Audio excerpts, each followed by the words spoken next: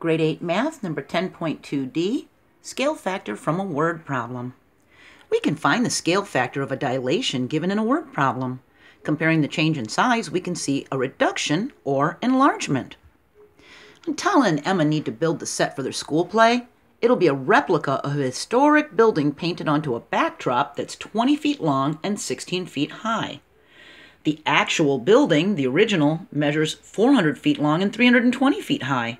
So Tala uses the mathematical notation of xy becomes 112x, 112y to represent the dilation. Was Tala's calculation correct if the replica needs to cover the entire backdrop? Well, it is supposed to be 20 feet and 16 feet. The original was 400 and 320. So we're going to compare the sizes.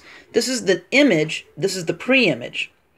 20 is less than 400 and 16 is less than 320, so we know it's going to be a reduction, and it will be a fraction of the original size. The width was 400, the height was 320, and Tala and Emma need to make it 20 and 16, so that's very much smaller. That's a big reduction, isn't it? Is it 1 12th, though? Well, this means that Tala well, and Emma think that 20 is 1 12th of 400 and 16 is 1 12th of 320. Are they? Is the scale 1 12th?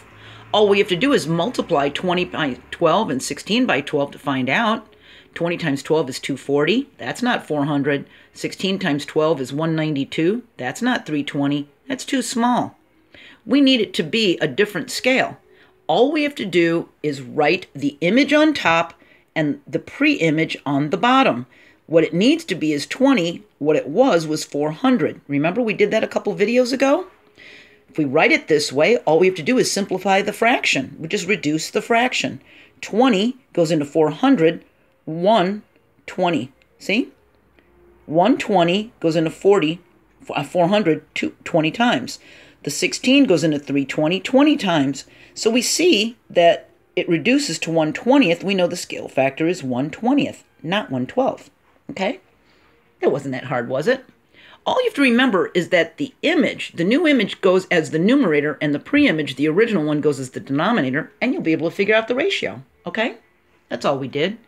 Now in 10.2e, we're going to talk about what happens when our transformation shares a point with the original figure. When the image shares an xy coordinate with the pre-image. Let's see what happens with that, okay? That's 10.2e. I hope this was helpful. I'll see you next video. Bye.